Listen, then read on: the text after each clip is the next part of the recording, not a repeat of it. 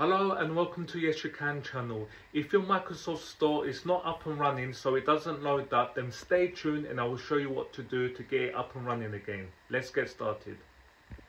As you can see guys Windows Store loaded and then it went off. So this is what you need to do. Go to start then go to settings. Now go to apps. Now this is where you need to go. Installed apps Scroll down and find Microsoft Store.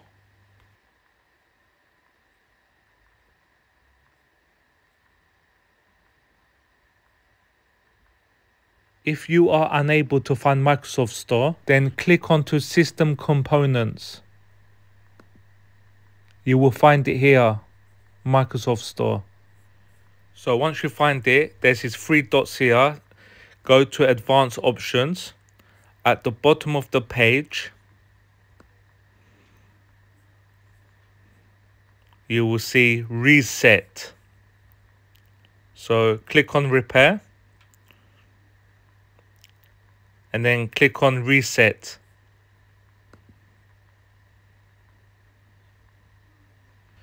Once you've applied these two I want you to restart Windows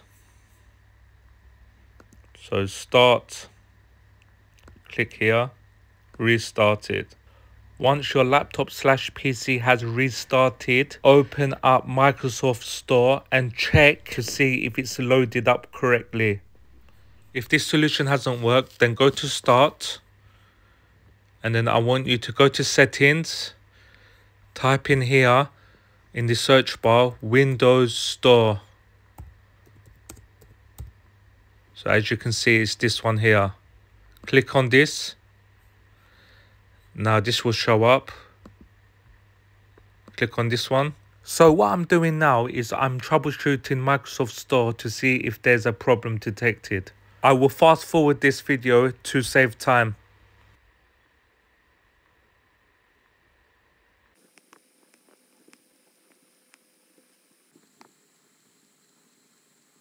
So guys, you're going to come to this. This is the conclusion to see what troubleshooting errors has occurred and to see if Microsoft will fix them. There's a last solution to this and I want you to check if it works. If you're still not having no joy, then go onto the start button and type in CMD, command prompt.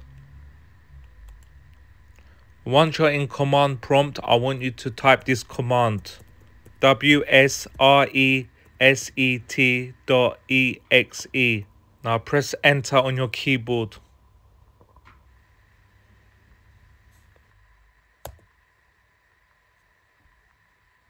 It's opened. So this method has worked for me. This command.